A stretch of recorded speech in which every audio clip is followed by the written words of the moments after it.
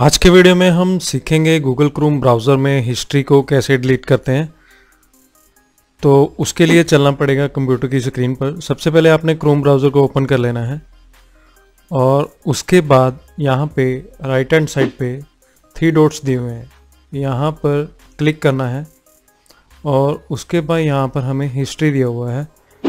ठीक है, इसके ठीक इधर आना है और इस पर क्लिक कर देना है।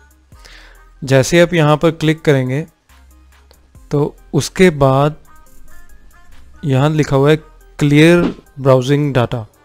इस पर जैसे क्लिक करोगे तो आपके पास ये वाला बॉक्स ओपन होगा। यहाँ पे हमारे पास तीन चार ऑप्शन है।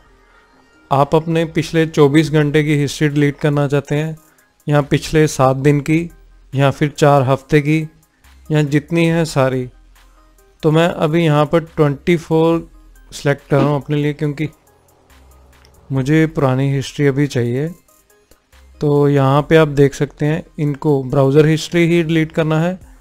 उसके बाद है cookies and other site data कोई साइट इंपॉर्टेंट भी हो सकती है या नहीं भी हो सकती तो आप इसको अनचेक भी कर सकते हैं।